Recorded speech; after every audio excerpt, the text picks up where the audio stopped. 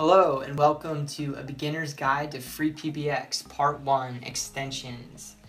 This video series assumes that you've been given access to an up and running Free PBX system and you just need to know the basic functions of Free PBX, how to edit extensions, how to change names, how to change voicemail passwords, that sort of thing. So we're going to cover that in this video. And I'm also going to go over some bare minimum Free PBX principles just to provide some foundation for working in free PBX. So let's go ahead and get started. Go ahead and log into your free PBX. And the login page is this dashboard page right here. You'll notice the version I'm using is 14.0.13.26. If yours is different, um, yours might look slightly different, uh, but the principles I go over should be the same. You can find extensions under applications. So this is your extensions page. Extensions are the heartbeat of FreePBX. And again, I'm assuming that your system already has all its extensions built and they're already up and running. You just need to know how to edit some things and adjust some things.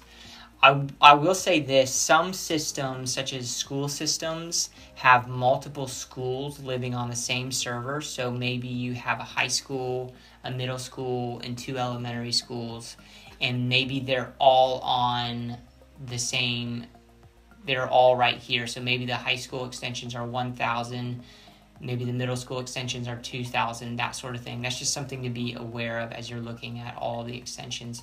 You can drop this down here to make it show less or more.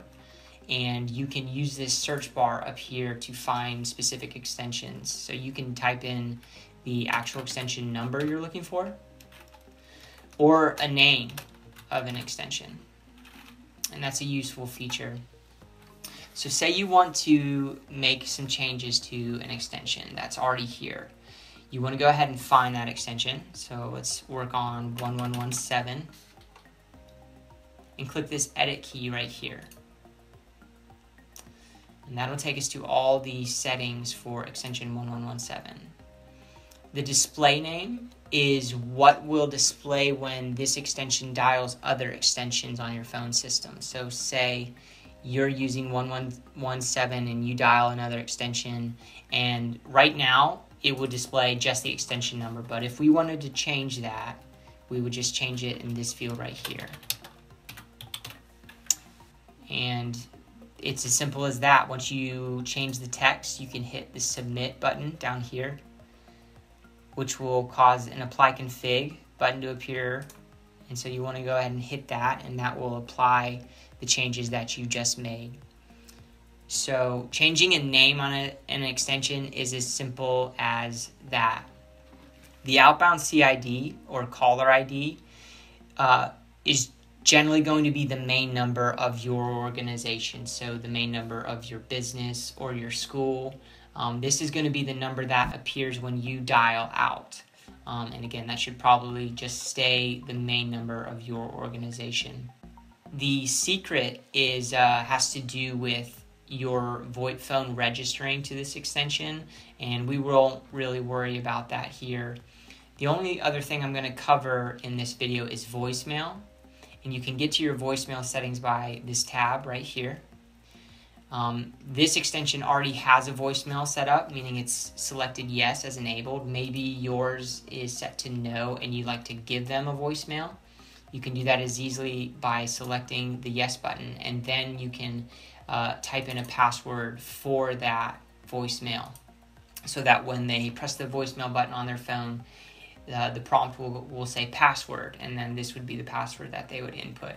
A lot of times users may forget their password. They can they can change this in their settings, but say they forget it, you can log into the extension here and change that password right here, or just see what it is, and you could change that, hit submit, hit apply config, and that would update the password.